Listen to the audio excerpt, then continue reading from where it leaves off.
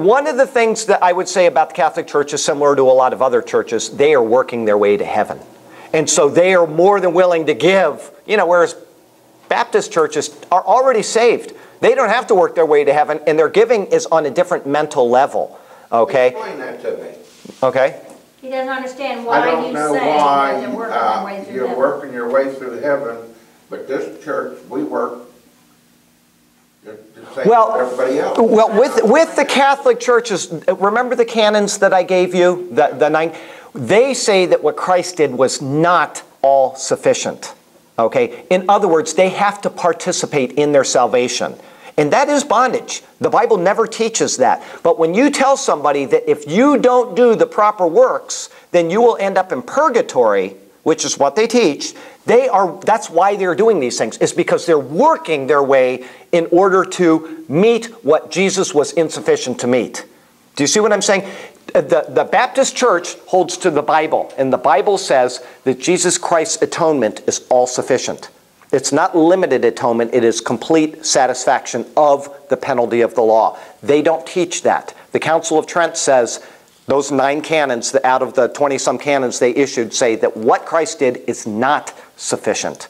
And so, when, whether people know that or not, that is the doctrine of the church, and that's what they're being told is that what Christ did only gets you so far. And so, your works participate in getting to heaven. What And so, understand is we work too. Our But I work, was trying to this explain to side, him this that is we, that we are saved for doing works, not saved by doing works. That's right. We're doing works, but the fact is that we're doing it out of an appreciation of what we have received. Okay? And if we don't do works, if we don't do diddly, it doesn't have anything to do with our salvation. What's the Church doing different than. I have no idea. All I know is what I they're know what their works are, you know, I went to Catholic church. Well, saying the rosary is a work. Saying, uh, confessing sins is a work. Those are things that you must do. You must do. The Mass, going to Mass, participating in the, uh, Well, man, the- the continuing crucifixion of Christ. They say that every time you take the bread and wine, you are re crucifying Christ. You are participating in his crucifixion. We say that is done. That is completely over. We are remembering what the Bible says. We are remembering his sacrifice. We are not participating in it. They believe in what's called uh, transubstantiation. This is the literal body and blood of Jesus Christ that you are eating. Okay? That's what they believe. Then you have a second, which is the Lutheran doctrine, which says consubstantiation. The elements are in uh, Christ is in the elements just like fire is in metal. If you put fire in metal, the metal gets hot. That's how it is. It's kind of waffling because he didn't want to get so far away he'd be called a heretic, but it really makes no sense. But they believe that they are actually participating in the crucifixion of Christ by taking the elements. Then you have a third one, which is Calvinism, says that you are Christ is spiritually present when you take the elements. He is there with you and you're taking the elements. And then you have what we believe in Baptist churches, which is Christ is, uh, um, we are, uh, we just said it, um, uh, we're remembering. We're, yeah, th- there's a term though that I'm not thinking of right now. Symbolic. It is symbolic of what, that's right. So you have transubstantiation, you've got consubstantiation, you've got uh, spiritually present or symbolic. And only one can be right. That's all there is to it. So what we have to do is determine, and where do we determine that from? Do we determine it from the canons? Right. Or do we determine it from the Bible? And the Bible says that Jesus held the bread in his hand and he said, This is my body. And it must be symbolic. It, it must be because he said, This is my body. He's breaking the bread and saying, This is my body. And therefore, when you do this in remembrance of him, we are doing it that he is uh, symbolically being presented there. He's not spiritually present with you there. If two or three are gathered in my name, he's there anyway. It doesn't matter if we're taking the bread and wine or not. So the Bible has to interpret that. But that's what I'm saying. When I, when I use the term they're working their way to heaven, it's only because of the doctrine of the church. I have no idea what those people believe. None.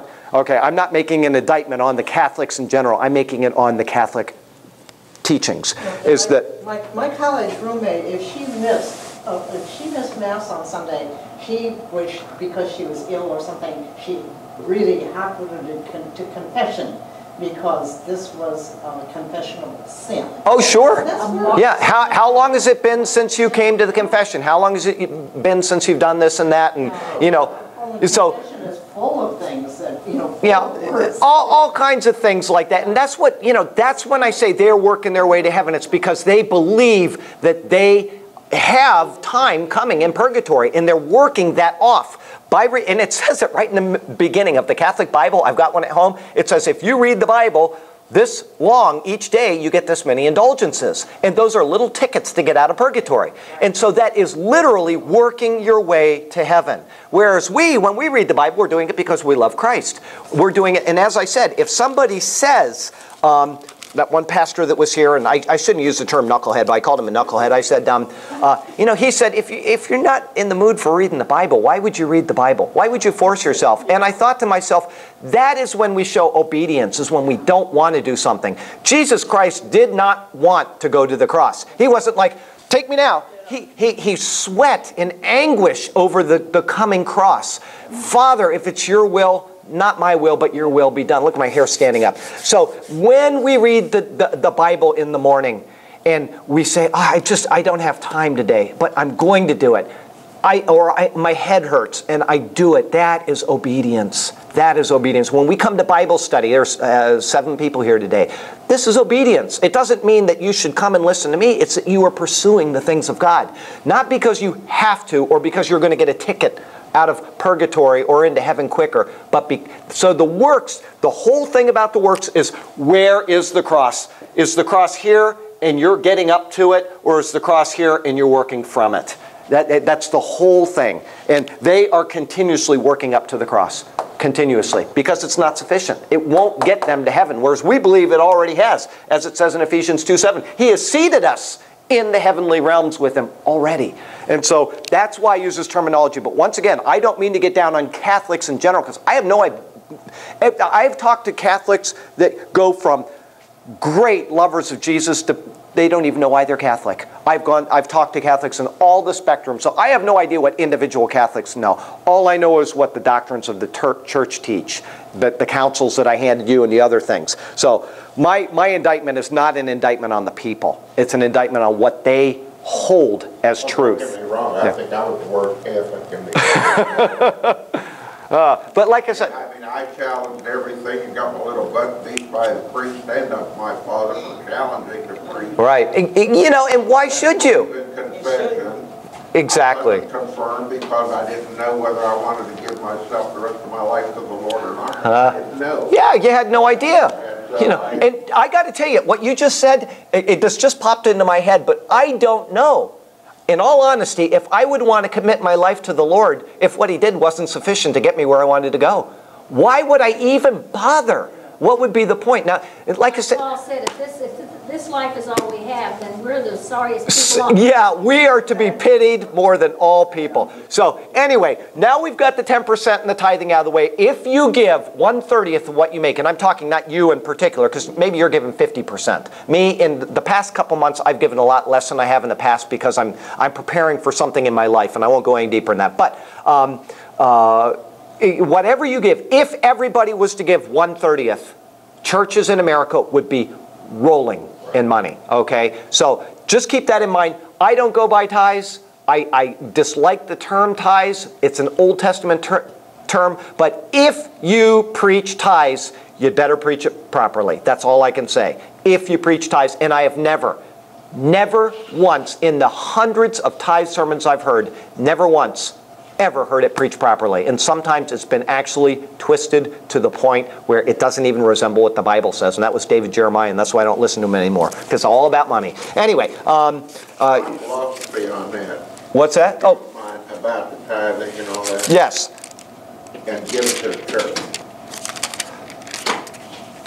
Like the military, I always told my people, every time you get a pay raise, take that pay raise and put it in savings. Right. Because if you live without that pay raise before you can. Then you certainly live without it after. And that's what we gotta live by every time we get a pay raise.